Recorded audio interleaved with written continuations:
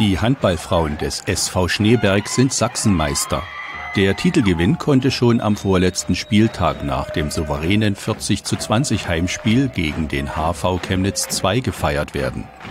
Im Spiel konnten die Schneebergerinnen unterstützt von einer begeisterten Anhängerschaft sowohl in der Defensive wie auch in der Offensive überzeugen.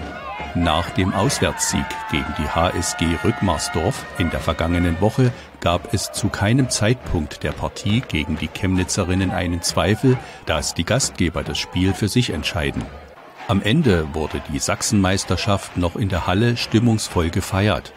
Die Trainer bescheinigten ihrem Team über die ganze Saison enormen Kampf und Teamgeist. Für Annette Kessler vom SV Schneeberg wurde das letzte Handballspiel zu einem ganz besonderen Moment. Die Torfrau wurde von ihren Mitspielerinnen, dem Trainerteam und den Fans in den Handballruhestand verabschiedet.